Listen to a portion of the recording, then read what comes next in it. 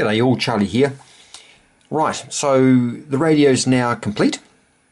And I just want to do sort of one last final video, sort of just, I guess, recording some of my uh, final thoughts before I shift focus on to what I'd like to do next. So the power amplifier is now mounted on the radio.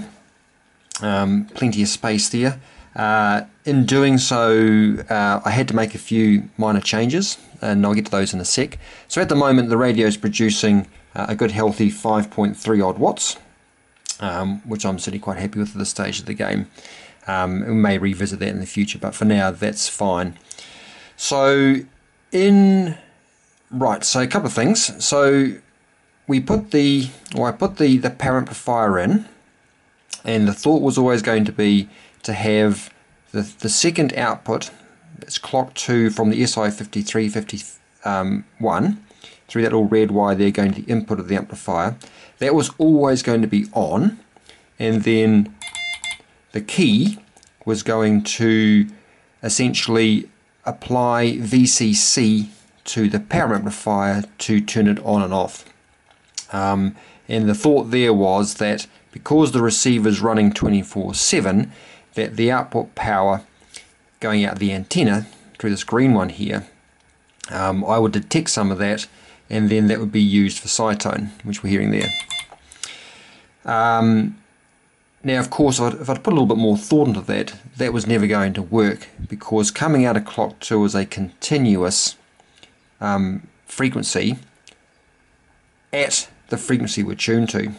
So the, sens the, the sensitivity of the radio and the fact that there's only what a whole three or four inches uh, in the whole radio itself meant that um, there was a continuous wave um, being received coming out the speaker. It was continuous. So I had to rethink um, how to do the keying. So in the end, what I settled on, um, and I found one of these in the junk box, which I quite like using anyway, which is a, a manual PTT switch to flick from transmit to receive.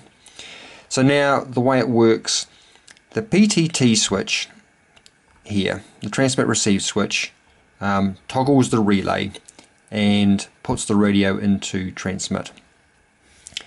The key down here, all that's doing now is providing an earth to the microcontroller.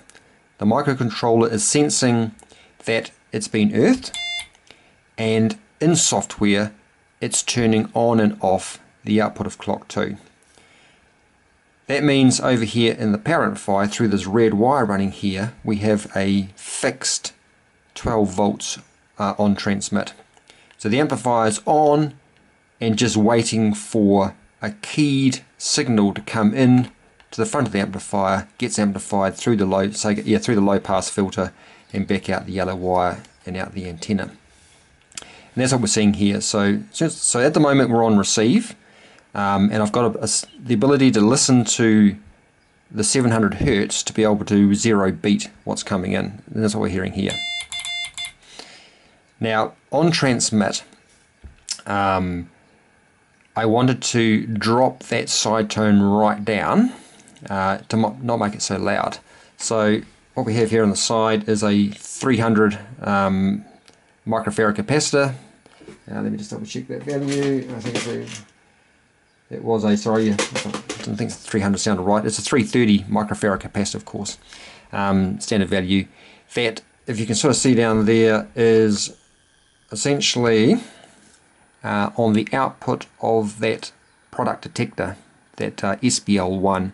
So the output is being, I just tapped into that through that 330 microfarad capacitor, and that's being switched to earth um, on transmit, uh, which is essentially drops the level of the audio that's going into the audio amplifier down here uh, considerably. Uh, so I've got the dummy load plugged in, so you can hear that, that's just a normal receive.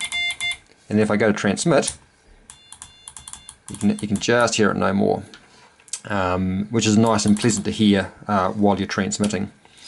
So that's how we solved, or how I solved that one. Um, and that was essentially it. So nothing else has changed in the radio. So just it was just a, uh, a simple change to, the, to a couple of lines of code, uh, like I say in the Arduino, to to enable that.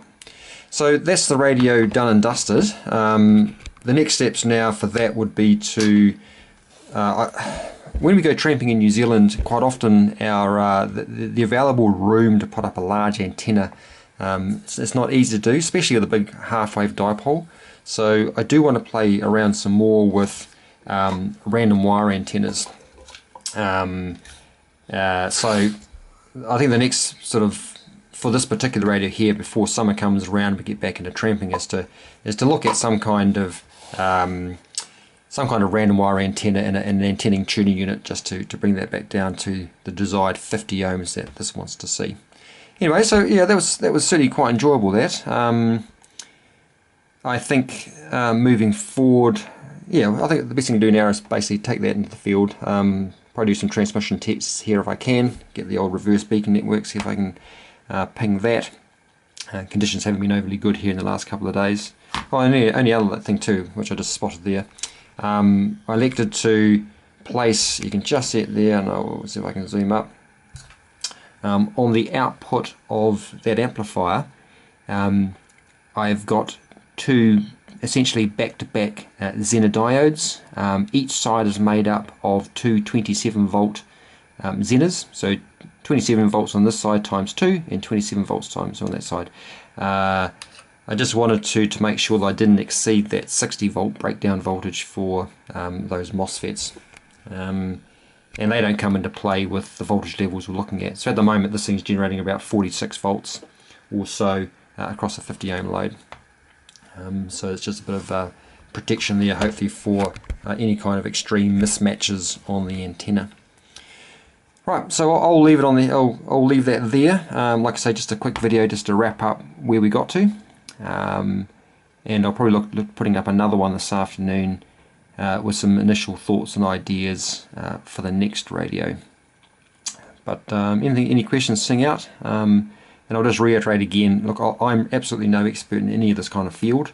Um, the whole the whole idea of me putting these up is to is to sort of document what I did, and, and I've said this many times, right or wrong. Um, hopefully to encourage others to, to give it a go. Um, it's been said many times, we live in a, a, fast, a fantastic time here where you can buy you know these components, especially these you know this the, the, um, the DDS here and the microcontroller and even this display here for for next to nothing. Um, so yeah, it's, it's a great time to to play around with homebrew. Um, and in this whole idea, like I say, the whole idea of the, the video series is just to, to help encourage others to, to give it a go. Uh, if I can do it, then anybody can. Um, that's the theory anyway. Right, 73 is all. Um, I'll leave it there, and I'll put another video up this afternoon um, thinking about what I'd like to do next. Okay, 73s.